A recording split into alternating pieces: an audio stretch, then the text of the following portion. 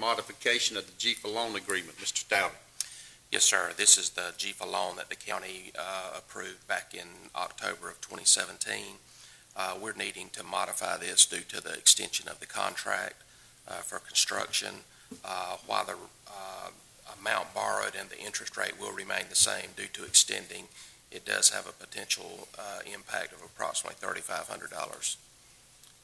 And staff recommends the to approve the resolution of the governing body approving the loan modification and authorizing the chairman to sign the second notification of promissory note and loan agreement and related documents.